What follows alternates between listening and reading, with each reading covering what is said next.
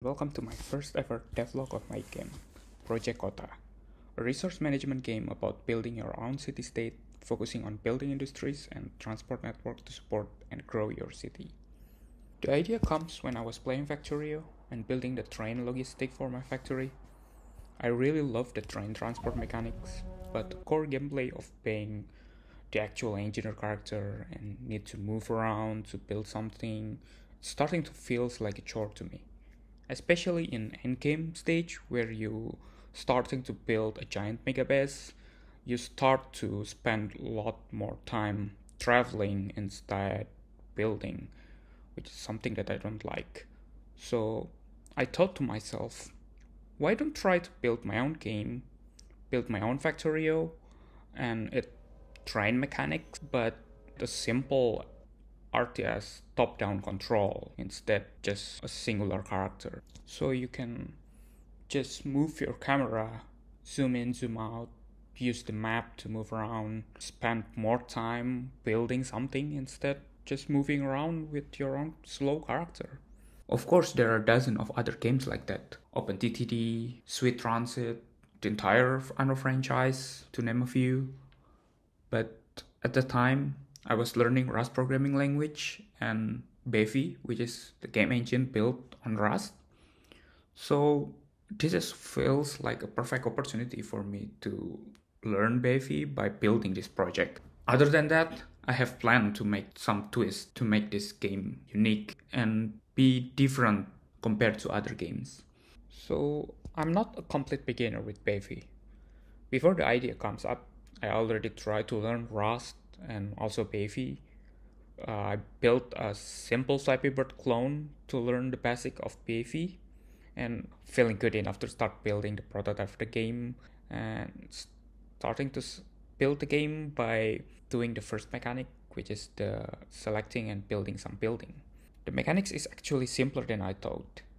Using the help of external crate Bevy ECS tile map, I can generate a simple isometric tile map as the terrain.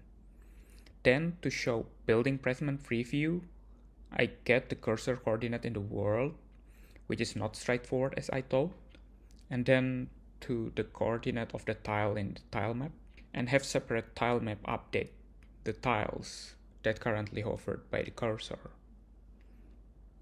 I then add a simple UI placeholder to show build menu and then use some free asset to make it a little bit better. Link in the description. So far, I have a great experience building games with Bevy. The entity component system is actually fun to code with. The game engine, which is very slim because it's very barebone, make it very easy to learn. And yeah, I, I do love Rust as programming language. But after building with Bevy, I feel that I won't be able to finish this game with Bevy. As a newer engine, Bevy lacks a lot of feature that I thought was straightforward and I believe it's very straightforward in other game engine, but it's not a built-in in Bevy. You need to implement it yourself. For example, like the cursor coordinate problem, also the click detection on sprite image, and even a simple toggle button group that I use in the build menu. It took me a while to handle all the cases, like when I click the button, I need to disable a other button, and when I hover the button, I need to make the color changes. It needs to be implemented myself instead, like already built in in other game engine. This doesn't mean Bevy is a bad game engine. It just show how mature other game engine are and right now the game idea grows big enough in me that I just want to make the game happen instead of fiddling around with the technology. So I choose to use other game engine, but Bevy itself is still in active development with cool community that support it, so I will surely revisit it later in the future. So I switched to other game engine that I have some experience with, which is Godot. I know it is quite capable to build what I want about my game. It's open source, great node-based system and lots of community support. So I feel confident about Godot and start rebuilding my prototype.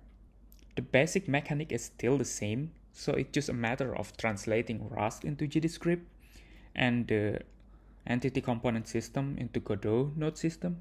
It took me a while, but now I rebuilt it in Godot, got the menu working, placement preview, and placing building in valid location. And I even experimented with pop-ups for showing building information and context menu, like connecting logistic between the building. Though it won't be just like that in the future, as it will involve transport like trucks and trains. So that's all I have for today. It's not much, but now with this prototype, I feel confident to continue the project and hopefully finish the game someday. I will try to document the progress in this devlog series, so make sure to subscribe if you're interested to follow along. Thank you and see you in the next devlog.